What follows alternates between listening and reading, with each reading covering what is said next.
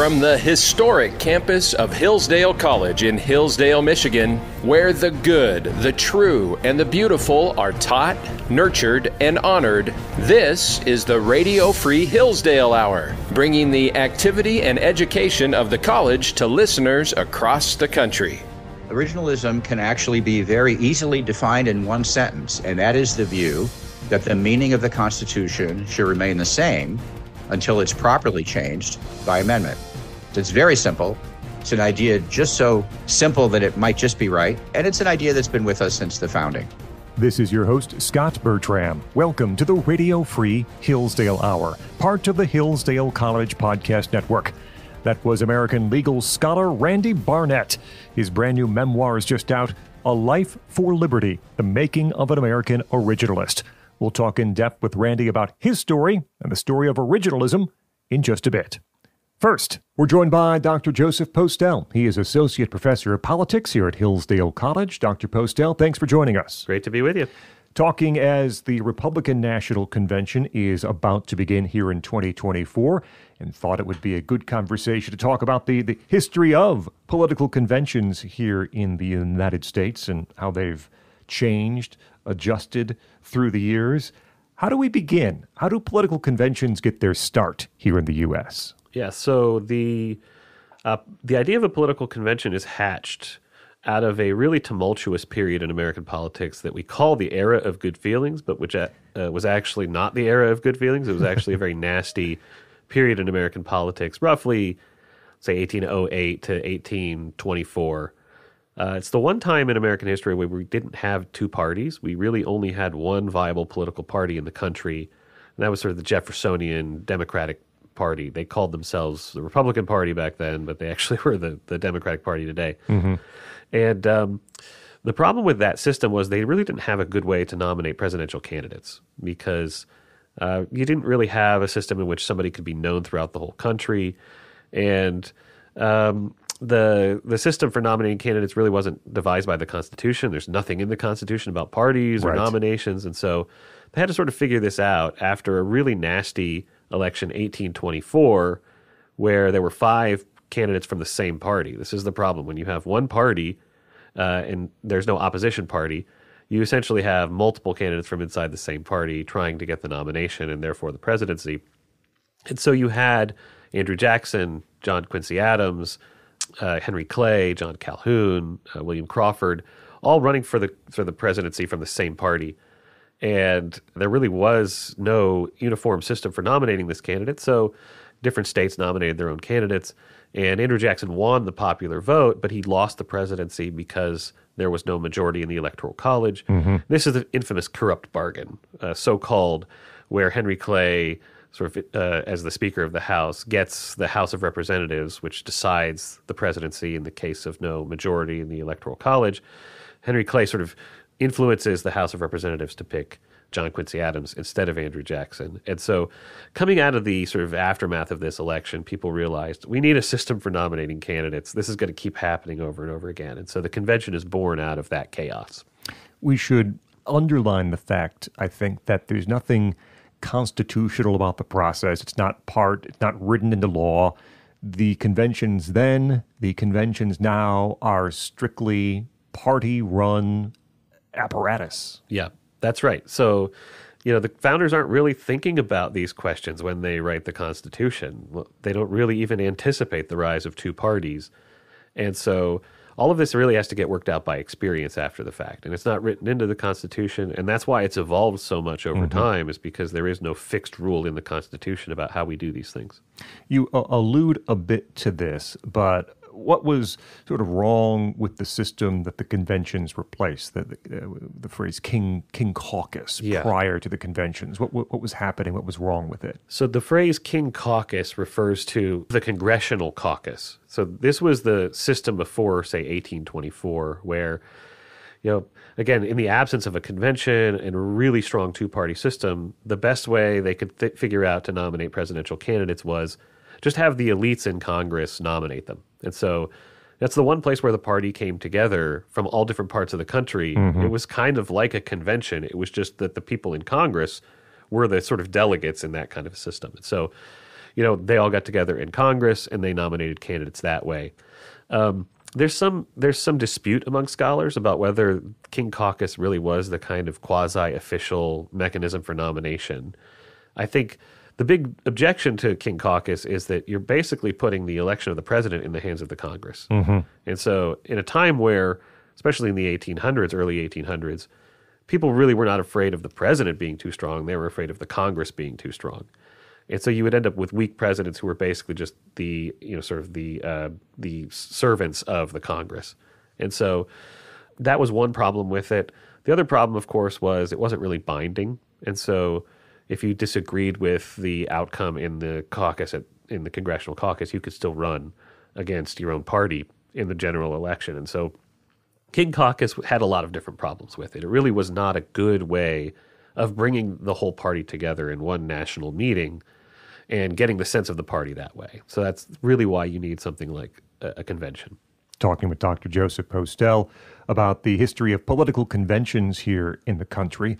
Uh, we know a candidate is nominated at a convention. Uh, what else happens, and has that changed through the years? The the major thing that happens at a convention, other than the nomination of the candidate, of course, is the the dev, the devising of a party platform.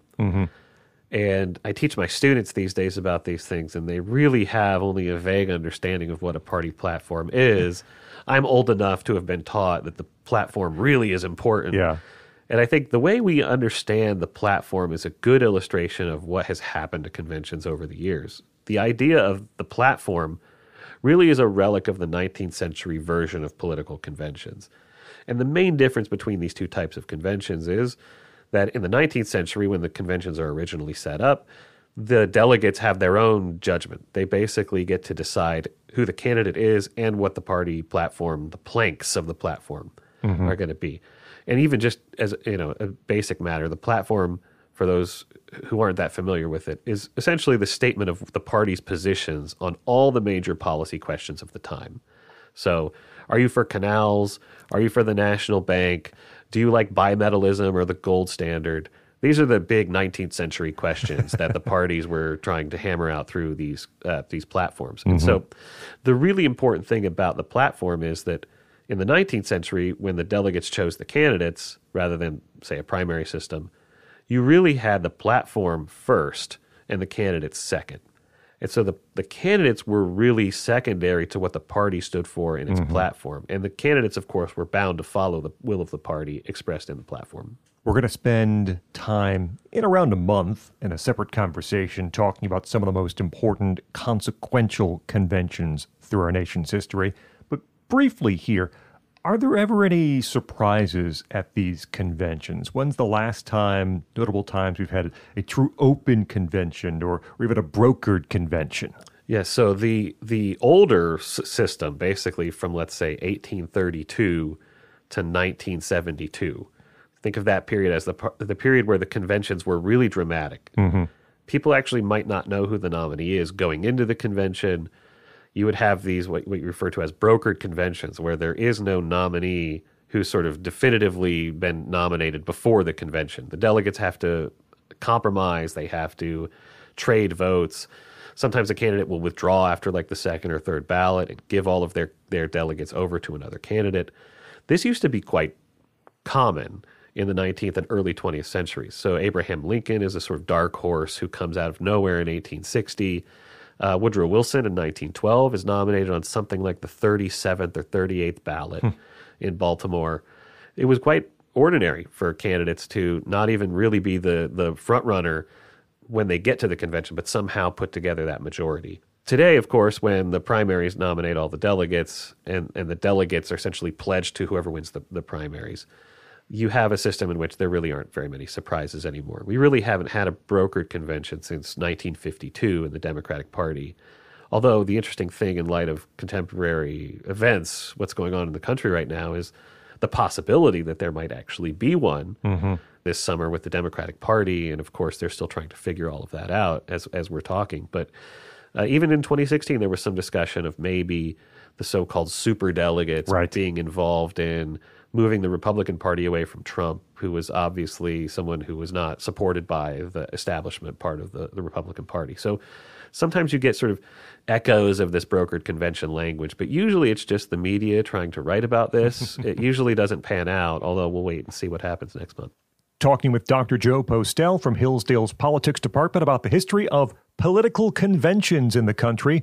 And now might be the perfect time for you to learn more about the meaning of the Constitution and the principles of American government. How, you ask? By taking Hillsdale College's free online course, Constitution 101. You can do it by going to hillsdale.edu slash course, C O U R S E. Scroll down, you'll see the link for Constitution 101. It's a 12 lecture course examining the political theory of the American founding, the challenges to that theory throughout American history. More than 1 million Americans have taken Constitution 101. If you haven't, now is a great time to do so. If you have, maybe a refresher course.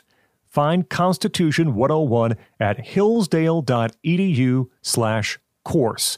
That's hillsdale.edu slash course. C O U R S E, hillsdale.edu slash course. Scroll down to find Constitution 101.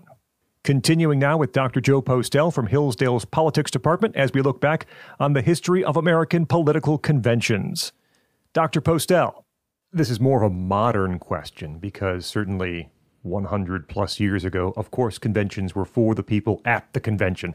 But now the question is are these conventions designed for the people in the arena, the people who are present, are they designed for the people at home? And how has the rise of television, radio, and now digital media transformed the, the, the nature and also the reach of these political conventions? Yeah, the the conventions today are essentially in my estimation, sort of hollow versions of what they once were. So it used to be the case that you got to the convention and you knew there was going to be a fight over some major plank. Could be territorial expansion, it could be, you know, some major policy question. Today it would be things like for the Republicans, you know, the tariff, immigration. Um, and you would you would sort of be ready for that fight at the convention and it would be a very dramatic event. You weren't sure how it was going to play out uh, people would give speeches, and the speeches would move the convention in various ways. Mm-hmm. There would mm-hmm. be deals brokered in these so called smoke filled rooms. And the idea here is that the party is deliberating collectively. All of the people in the party who come from the grassroots, they come from the localities and the states, are now at this national convention. And here's where we're going to deliberate on all these questions and come up with what we stand for as a party. Today, we've sort of flipped the script. And so everything is decided before the convention. And it's really not about the planks in the platform or the principles of the party. It's really about the presidential nominee. And so everything is now carefully orchestrated around making the presidential nominee look good. So instead of the parties being up over and above the candidates, we've sort of put the candidates over and above the parties. And so, what conventions are these days are basically three day or so long cheerleading sessions in which mm-hmm. people give speeches, not to not to the members of the convention hall, but to the American people, talking about why their presidential candidate should win the election. You mentioned earlier Abraham Lincoln. People, of course, recall the speech that Barack Obama gave in 2004 at, at the Democratic National Convention. Have we seen past conventions like that produce rising stars and shine the spotlight on on members who are going to play a much bigger part in the future. Yeah, I, I think Obama in 2004, right? It, he he's the sort of quintessential example of a modern presidential candidate who sort of comes out of nowhere, doesn't have a long track record of experience, but he gives a great speech, and that sort of catapults him to national prominence. And I think that is an illustration of the sort of modern orientation of a convention. It's really about uh, the speech you can give rather than about your experience, how you've proven yourself to your colleagues in the party. So I think you'll see more and more of this going forward as long as conventions are a kind of way to give a great speech in support of the presidential candidate. Then, you know, the dozen or so people who give a speech at the convention in support of the presidential candidate are seemingly the people that you're watching to see if they could replace mm-hmm. that candidate in the in four or eight years. So, you know, for Republicans, it will be whoever they sort of assign to speak in support of Donald Trump at the convention, those will be the sort of quote unquote rising stars in the party, and then some of them might give a really excellent speech and be thought of as you know sort of the, the heirs apparent to to Trump. So that is definitely something you see in conventions today, and it becomes more about the speech you can give rather than say your experience or your track record. Talking with Dr. Joseph Postell, associate professor of politics here at Hillsdale College, about the history of political conventions here in the United States. What about the future of political conventions here in the United States? You already have told us a little bit about how the uh, the purpose has shifted through the years. Are they still really consequential in the span of a of a presidential campaign? Do you see a potential future with no political conventions? I think that's quite possible. We sort of really only do it these days as a matter of tradition. I sort of joke with my students when I talk about these conventions that you, know, you see people like standing next to the Illinois sign or the Nebraska sign or the Georgia sign as if their state identity really matters, which these days your sort of local and state identity matters a lot less than your national party identification. And so it does seem a little bit like this traditional thing that we do because we've always done it. And the rationale really has has not survived the modern era. So I could see certainly in the near future a situation in which the conventions just become more trouble than they're worth. On the other hand, they clearly serve a new purpose now in the 21st century. They serve a purpose of getting a say very temporary and very small bump in support for the for the party and the candidate which has just held the convention. And so, you know, neither party is going to voluntarily relinquish that even if it's a small advantage they get. They're not going to give that up. So, they'll probably keep doing it even though I think the American people are increasingly less interested in what goes on here. I, I almost consider the political conventions now in the same way that we consider the Olympics. It's it's a nice spectacle, and we've always done it this way, so we're going to have it, and people kind of get interested for a week and then forget. And I guess, of course, we'll do it four years from now because we've always done it this way. Yeah, I think that's actually quite a good analogy, right? I think there's a very similar reaction, and so, you know if you really wanted to restore the conventions back to their original purpose, you would really want to revitalize these state and local parties. Mm-hmm. Where today the state and local parties basically don't have any funding, don't right. have really strong leadership or power. And until you get a return to that kind of a model of the parties, you're not really going to have conventions that matter very much. Have you been to a? I've actually convention? never been to a convention, so I've only studied them in books. I probably should go, given that I teach and talk about them a lot. I made the trip to Cleveland. I had just actually arrived here at Hillsdale a few months before that convention in the summer of 2016, and went to Cleveland for a couple of days for the RNC the uh, did, did some Radio Row stuff, obviously, and Radio Row was a converted parking garage, fine space to put people. Yeah. But uh, much like you explained, I mean, once you're inside, there is an energy. And people are standing by their individual state signs and listening to speeches, and it does transform into uh, a pep rally of sorts, right? Right. Yeah, it's almost like a conference for the party mm-hmm. to sort of rally and encourage uh, just as you've just described. So it does play that kind of a role, which again is a very different role than the idea that we're all coming together to think about these serious questions and deliberate about them. So it does play that role, and I think for that reason, even though it's not the same role it once had, is probably something the parties will continue to do. Dr. Joseph Postell is Associate Professor of Politics here at Hillsdale College. As we talk about the history of political conventions, we are looking forward to another conversation in roughly a month this one just before the Republican National Convention. We'll talk again just before the Democratic National Convention in Milwaukee, this time about some of the most memorable, consequential, and important political conventions in our country's history. Dr. Postell, thanks so much for joining us on the Radio Free Hillsdale Hour. Great to be with you. Up next, we talk with noted legal scholar Randy Barnett. His new memoir is out. It's called A Life for Liberty. I'm Scot Bertram. This is the Radio Free Hillsdale Hour.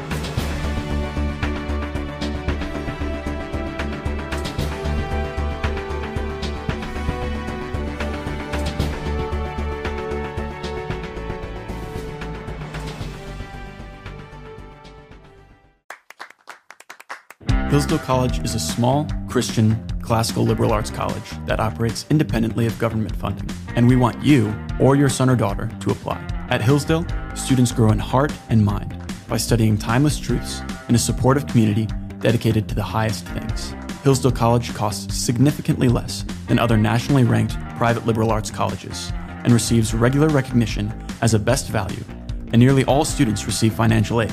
Our robust core curriculum, vibrant student life, and 8 to 1 student to faculty ratio make for an education like no other. For more information or to fill out an application, visit hillsdale.edu backslash info. That's hillsdale.edu backslash info.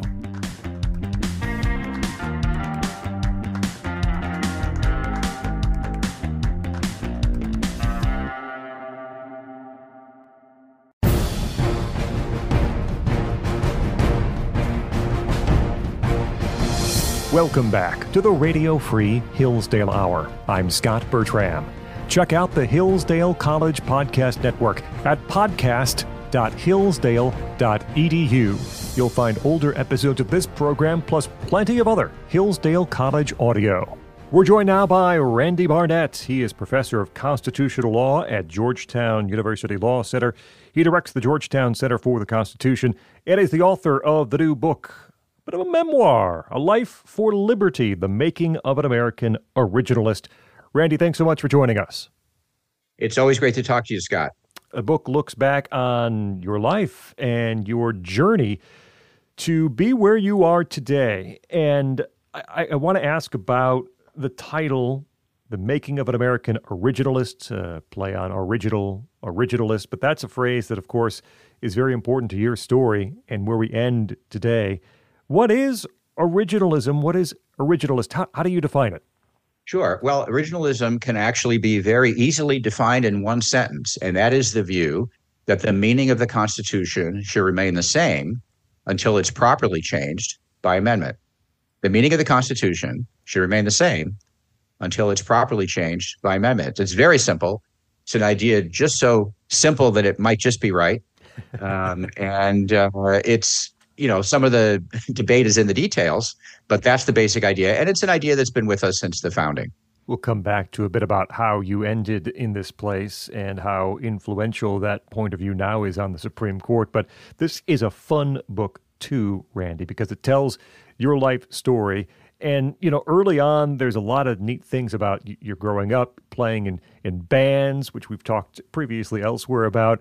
But I, I loved this story. And you can share a little bit of it with us about how you ended up selling ads at the Chicago Reader, and an alternative newspaper in Chicago, and how that ended up being, in, in, in, fact, a very profitable venture for you. Yeah, well, I tried to start my own newspaper, and one of the things that I noticed, you notice a lot of things when you write a memoir that you didn't even realize about yourself. One of the things I noticed was how many times I tried to start a newspaper in my life. Uh, you know, when I was a little kid, then when I was a, a young kid, and then finally when I was in college, I started a newspaper in my freshman year called The Alternative at Northwestern, which was a free newspaper. Uh, we actually managed to get one issue out the door before we all just sort of gave up in exhaustion and never did a second issue. We were a one hit wonder when it came to alternative newspapers. But um, then the next year, uh, all of a sudden, a newspaper shows up at Northwestern, a free newspaper sitting up in bundles that looks a lot like what we were trying to do called the Reader, the Chicago Reader. But I called these folks up on the phone. I was very interested in the idea because of what I had done. And I called them on the phone. I said, You're dumping the the newspapers in the wrong locations. You need to put them here. You need to put them there. And when they had me on the phone, these guys, who I found out were a group of uh, recent college graduates from Carleton College, living in Hyde Park, said, "Well, how would you like to be in sell advertising for us?" So I had sold I had sold electronics, consumer electronics when I was in high school. The book tells that story as well. And I said, well, sure, I'll give it a try. And I hitchhiked to various businesses in Evanston, downtown Evanston, and sold advertising. And eventually, because because of my success, they asked me if I would want to be the advertising director, mm-hmm. which I, uh, gra- I I really originally declined because my dad, who was a small businessman, basically said that you know this was not going to be a profitable venture, particularly since they told me they couldn't pay me. Uh, they didn't have any money to pay me. They were just going to have on an account. So anyway, the long story short, the long story is in the book. The short story is We ultimately did very I ultimately did very well as advertising director and when the reader held its 50th anniversary uh, special edition the publisher, the original publisher of the reader, credited the, the the existence of the reader to two young men. One was their printer, who was willing to uh, print the paper, you know, on credit, and the other one was me, who helped bail them out of a financial hole they dug themselves by creating this profitable advertising program at the reader. Randy Barnett with us, his new book, A Life for Liberty The Making of an American Originalist and discussion about how you came to your points of view, discovering libertarianism. You say inside the chapter that you were converted by rational persuasion. What were those arguments central to you embracing the idea of libertarianism? Well, it was mainly consistency, I think. Um, I was already a libertarian, a, a liberty-based conservative. I was a William F. Buckley conservative who had argued on behalf of Barry Goldwater when I was 12 years old. I debated on behalf of him in front of my entire grade school and student and junior high school student body, several hundred students, uh, in 1964 when I was 12. And what appealed to me about Goldwater was um, the idea that uh, extremism in defense of liberty is no vice, moderation in pursuit of justice is no virtue. That was Goldwater's line, and it captured my heart in my heart, in my 12 year old heart, I, I thought he was right. um, and um, it went from there. But when I got to, co- but I was always frustrated by conservatism because I couldn't find a definitive theoretical account of what it really was. I would, re- I read National Review and I was a big fan of Buckley and Firing Line, but it was all just kind of uh, positions that seemed to be loosely associated with each other, uh, uh associated, associated with each other. But when I finally heard a libertarian professor at Northwestern describe what it was, it occurred to me that well, this was the rational conservatism that I had been looking for. And I still think it's actually the rational conservatism that conservatives are looking for if it's properly understood. And so that was kind of what got me. It was being consistent about liberty. Those were the rational arguments that were appealing to me. How are you consistent in your commitment to individual liberty, even when it might go against some of your personal preferences? You write uh, later uh, about being a libertarian in academia. Handling the discrimination uh, you experienced growing up as a Jew was a good training for the discrimination that you would now experience as an academic libertarian. And later on in the book, there's discussion about how you nearly landed a spot at Northwestern. How would you describe your experience inside the academic world, and what is the hurdles placed in front of you as an academic libertarian? Well, I do think one of the reasons I got to be who I am today, and I try to explain this in the book, is that I was never entirely 100% a part of any group that I was in. So while I was growing up in Calumet City, Illinois, south of Chicago, in a Polish Catholic Democratic town, I was a conservative Republican Jew. in my graduating class of 400, there were four Jews. And yet, when I went to synagogue in Hammond, Indiana, across the state line, I was from literally the wrong side of the tracks. I mm-hmm. was from this D Class A Calumet City place and I was a conservative, and they were all progressives or what you know liberals, um, and so I was kind of on the outs with them, and I was on the outs with my. Uh, now I was very successful socially. I, I had a very happy childhood, but when you're not quite part of the group, you can see the group more objectively and find and sort of be critical of it. And Murray Rothbard once told me that that's kind of how intellectuals become intellectuals. And that has stayed with me as I went into academia as a libertarian and eventually as an originalist, although I didn't start off as an originalist, I was able to see things that other people didn't see. And that sort of made me look smart because I had a perspective they didn't have. And uh, I have had to deal with discrimination in the course of hiring and other things. But ultimately, I've been able to achieve the very kind of career I always hoped I would. And one of the lessons of the book is you can overcome these obstacles if you just stick to it and don't give up. Randy, you mentioned you're growing up in Calumet City, south of Chicago, really, as you say, more culturally a portion of Northwest Indiana than the Chicago area. But you eventually uh, become a, a prosecutor in the Cook County State's Attorney's Office. That's the county that includes Chicago, too. I was wondering as I read, as a libertarian, was it difficult to be in a state's attorney's office when you might be prosecuting or working on cases with laws that, as a, a, libertarian, you say, why, why does this law even exist? Why, why are we prosecuting people for this type of crime? Well, yes, that was a problem, a potential problem that it turns out during the four years I was there, I actually did not literally have to confront. Hmm. The reason being that I worked for a Republican state's attorney who believed that, for example, marijuana laws uh, needed to be treated more uh, gingerly and essentially didn't put people in jail for violating marijuana laws. And with respect to other drug laws, um, I just never had an opportunity or the, uh, to prosecute drug laws.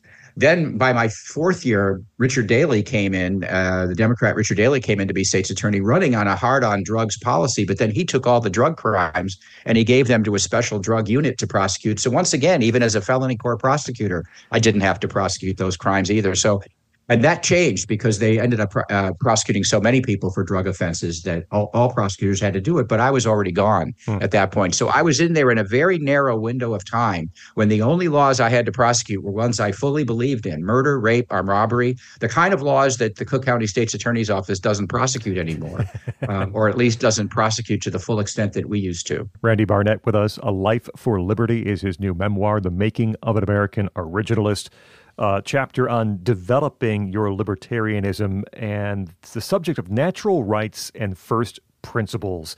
How are natural rights connected to the problems of knowledge, interests, and power? Wow. Well, I didn't see that question coming. That is the that's a big question. That is the question that I answer in my very first monograph called The Structure of Liberty Justice and the Rule of Law that was published by Oxford University Press in 1998.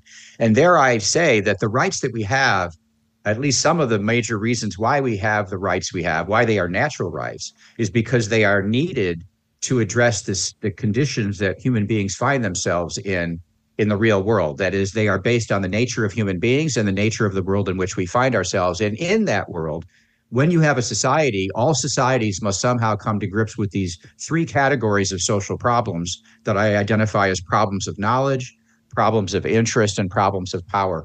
Problems of knowledge, you know, listeners to this uh, podcast are going to recognize as the kind of Hayekian problem of knowledge, the idea that we as individuals know what we know and we need to put what we know into effect, mm-hmm. but we actually don't know a lot about we are very ignorant about what everybody else knows and so how do we structure society given that and the problem of interest has to do with the problem of partiality and rent seeking and the the, the natural tendency of people to aggrandize themselves and finally the problem of power and i'm simplifying these a lot Scot sure, but sure. the problem of power is really about when you use coercion to solve the problems of knowledge and interest you introduce a new problem and that is how do you control the the coercion that you're now using to protect the individual rights necessary to solve the problems of knowledge and interest. And that's the reason, that's when constitutions and constitutionally limited government starts to come into the picture.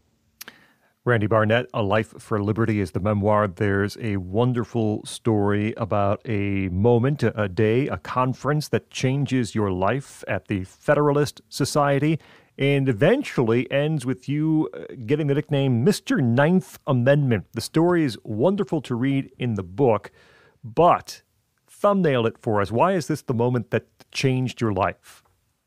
Yeah, when I took constitutional law and my law professor was Larry Tribe, uh, I basically gave up on the Constitution. I was an, a patriotic American. I believed in the Constitution, but in constitutional law class, I would go through the casebook, and every time I got to one of the parts of the Constitution, like the Ninth Amendment, which says the enumeration in the Constitution of certain rights shall not be construed to deny or disparage others retained by the people. I thought, holy moly, what a great amendment that is. And then I would turn the page of the casebook and find out the Supreme Court had said that doesn't mean anything.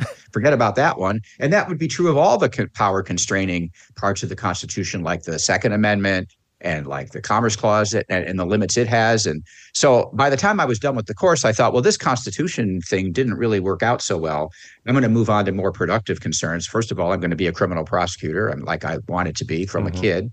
And now I'm going to, when I became a law professor, I became a contracts professor where writings are still taken seriously. But then I got invited to speak at a the fifth annual student symposium of the then newly formed Federalist Society, which didn't exist unhappily when I was a law student. And it was a conference on the First Amendment, and I was on a panel on the, on freedom of association, which, by the way, is not mentioned in the First Amendment, and yet it's a constitutionally protected right. And as my punchline for my talk, I basically cited and quoted the Ninth Amendment that I just quoted for the listeners here. Now, I knew that that was actually a kind of an academically disreputable part of the Constitution to uh, to talk about. But mm-hmm. I thought, well, look, I got tenure now, and I should be able to talk about any part of the Constitution that hasn't been repealed. So let me talk about the Ninth Amendment. But I didn't know anything about it. After I got a very positive response from the audience of the Federalist Society, which made me clued me into the fact that the Federalist Society was a coalition of conservatives and libertarians. I went back to my office and I had a research assistant go out and say, I said, find me everything that's ever been written on the Ninth Amendment. I'd like to know what's been written on it. And he came back with a pile of photocopies, maybe an inch and a half thick, and a little book by a man named Bennett Patterson uh, called the Forgotten Ninth Amendment. And I thought to myself, you know, if I read everything in that pile of papers, that would ought to overnight make me the lead, the nation's leading authority on the Ninth Amendment. And it wasn't that long, big a pile. So I read it. And uh, I became the nation's leading authority on the Ninth Amendment. Um, and that was my first big uh, move into constitutional law. And it's ultimately what led me into the medical marijuana case that ultimately took me to the Supreme Court, where I argued in the Supreme Court on behalf of the use of medical, medical marijuana in states where its use had been legalized. Randy Barnett with us, his book, A Life for Liberty. Now we return to my original question about originalism and the part of the book where we explore how you arrived here. What does that path look like for you to embrace originalism? Well, one of the things I should probably say about the book in general, and that is my life sort of covers the rise of libertarianism as a political theory. Mm-hmm. and i've been i was deeply involved in it from somewhat almost the beginning. And it also covers the rise of originalism as a theory of constitutional interpretation which i've been at almost from the beginning. And so the story of my life is kind of the story of these two movements. But how i got into originalism was probably completely unique. That is i'm probably the only person who ever got into originalism because i read a book by Lysander Spooner called The Unconstitutionality of Slavery that was published in 1845. Um, nobody else became an originalism originalist for that reason. Um, I was not. I was not an originalist. I was. A, I would have called myself a Dworkinian after Ronald Dworkin's moral readings theory of uh, constitutional interpretation. Um, but I was teaching constitutional theory in a seminar, and there was a footnote in one of the articles that I had assigned my students that cited Lysander Spooner's The Unconstitutionality of Slavery, 1845. And I had known from about Spooner's essay called No Treason, The Constitution of No Authority that he'd published in the 1860s. It was an anarchist critique of the Constitution, which I read as a college student and found completely persuasive in, that, in those days. Um, and I thought, what could this guy possibly? I didn't know he wrote anything else, and what could he possibly have said about constitute the slavery being unconstitutional in 1845 before there was a 13th Amendment? So I asked the library, get me a copy of it. Turns out it was a 280 page book, and it was part of a six volume collected works of Lysander Spooner, who knew the guy wrote so much. And I read it, and it was it was eye opening because in it he he postulated or he advanced a theory of what would today be called original meaning originalism in response to the anti-slavery activists who used original framers intent to make the claim that the constitution was a covenant with death and an agreement with hell and therefore was immoral and they advocated for the dissolution of the united states. These were the garrisonian anti-slavery people. Mm-hmm. and spooner respond, spooner's response to them was no no we shouldn't be looking at the framers intent we should be looking at the original meaning of the words they used. And according to those words, they don't even mention slavery. They don't even call slavery by its proper name in the Constitution. Now, I should say, because people don't, so people don't get misled, that after years of working on originalism theory, I ultimately concluded that Spooner was wrong about whether slavery was unconstitutional before the 13th Amendment.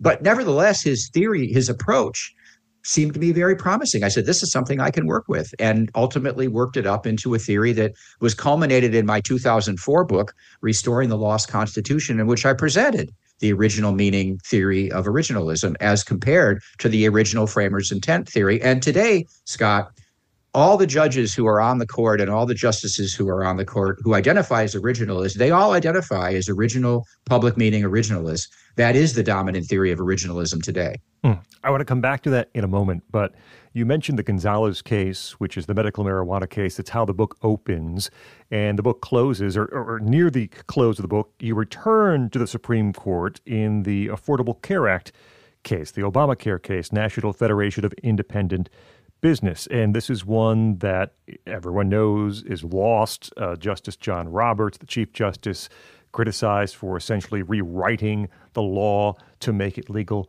But you say in A Life for Liberty that Chief Justice Roberts' opinion made constitutional law better in more important ways. So, what is your reading of, of how the majority opinion in, in that case changed constitutional law for the better? It is very weird. If you're a constitutional lawyer and you win your constitutional argument, you typically win the case. Uh-huh. And if you've lost the case, it's because you've lost your constitutional argument. But only in the NFIB versus Sebelius case, only in the Obamacare case, could you win, get five votes for your theory of why the individual insurance mandate is unconstitutional and still lose the case. it just doesn't seem fair somehow. But we did win on our theory. And as a result of NFIB versus Sebelius, individual purchase mandates under the Commerce Clause are unconstitutional. That's what Chief Justice Roberts said in his opinion. Congress cannot make you do business with a private company for the rest of your life because it's convenient to its regulation of interstate commerce. All he upheld, he reread the he rewrote the statute to say it was reasonably possible, even though it was not the natural reading of the statute, it was which says regulation and and penalty. He said it was reasonably reasonably possible to inter- interpret the statute as basically giving you an option, a non-coercive option to either buy health insurance or pay a modest and non-coercive tax. And because it could be read that way, and that way would be constitutional, it would not be a purchase mandate. He could uphold the Obamacare uh, statute as a whole. So that's how we won on our our legal principle, and we lost the case. But I want to say that both in this case and the Raich case, and I'm a little self-conscious about this because I my book, as you say, opens with the Raich case, the medical marijuana case, and it closes or nearly closes with this case. Both of them look like losses. So mm-hmm. how can I be so proud of them? but in fact, both cases, um, the big the big victory here was to turn back the government's theory about why they should win um, and which was endorsed by virtually all academics. And that is that Congress has essentially a national problems power that allows it to do whatever it deems convenient to address any national problem. That is their reading of the Commerce Clause and the Necessary and Proper Clause. And it was their reading in essentially both cases. And in both cases, we got the court, I got the court, we got the court to re- re- reject that reading of the Constitution, reaffirm that the Constitution is one of limited and enumerated powers. And that itself was a major victory in the course of uh, getting those two losses. Randy Barnett's book, A Life for Liberty The Making of an American Originalist. All right, so an originalist majority on the Supreme Court is what we have. I am curious what's the leading competing theory to originalism right now on the court? When you read a dissent from Justice Kagan, Justice Sotomayor, is there a controlling theory that you see developing in the minority on the on the court or even elsewhere in the federal court system at this time? That's a great question. And until recently, I probably would not have been able to answer it um, because basically the other view is living constitutionalism, that the meaning of the Constitution evolves with time there's a lot of people who hold that view, but they usually won't admit it. Mm-hmm. There is developing, I think, a more coherent alternative to originalism. And it's something that my co author, Larry Solum, and I call constitutional pluralism. And this is the idea that original meaning is just one of many considerations that justices and judges should take into account in deciding constitutionality, but it can be overcome by other considerations, like, for example, stare decisis, meaning precedent or severe consequences. And so it grants original meaning has a role to play. It just doesn't think uh, it wins when in conflict with other things that might over outweigh it. And I think that constitutional pluralism is probably the main alternative. And in fact, somewhat, uh, you know, uh, to our disappointment, conservative justices will use constitutional pluralism as well. Justice Alito, who identifies as an originalist, in his in several of his opinions they are really written more like constitutional pluralist opinions in which originalism plays a role but not a definitive one than originalist opinions. I don't know that he really is a pluralist but some of his opinions are written as though he is It's an interesting book and a really fun read along the way. Randy Barnett is professor of constitutional law at Georgetown University Law Center, directing the Georgetown Center for the Constitution, and his memoir is out now A Life for Liberty The Making of an American Originalist. Randy, thank you so much for joining us here on the Radio Free Hillsdale Hour. Well, this was a lot of fun, Scot. I really appreciate it. That will wrap up this edition of the Radio Free Hillsdale Hour. Our thanks to Dr. Joe Postell from Hillsdale's Politics Department and Randy Barnett, his brand new book, A Life for Liberty. The Radio Free Hillsdale Hour is recorded at the studios of WRFH, the student run radio station at Hillsdale College. You can hear new episodes every week on this station. You also can find extended versions of some of our interviews or listen anytime to the podcast. Find it at podcast.hillsdale.edu or wherever you get your audio. Until next week, I'm Scot Bertram, and this has been the Radio Free Hillsdale Hour.